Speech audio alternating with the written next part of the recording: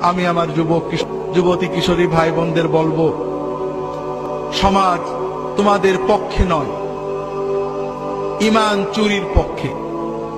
পিতামাতা তোমাদের ছেড়ে দিয়েছেন।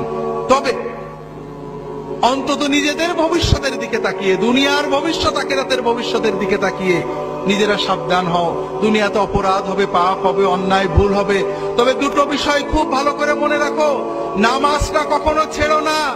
নামাজ যদি সিনেমা হলে থাকো বেরিয়ে এসে নামাজ পড়বে। যদি খেলার মাঠে থাকো ওয়াক্ত মতো নামাজ পড়বে। নামাজটা কখনোই ছাড়বে না।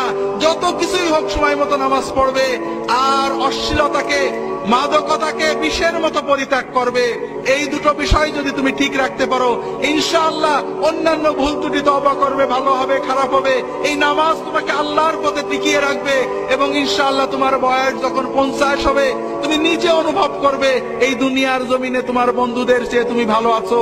আর ইনশাআল্লাহ কেয়ামতের দিনে তুমি তোমার পিতা মাতা সহ আল্লাহর আরশের নিচে তার অলিদের সাথে মেহমান হয়ে যেতে পারবে।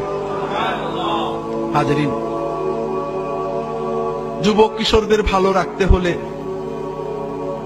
তাদেরকে আলেমদের কাছে নিয়ে যেতে হবে, মসজিদে নিতে হবে, দিনী চেতনা তৈরি করতে হবে, লেখাপড়ার ভিতরে দিনী চেতনা তৈরি করতে হবে।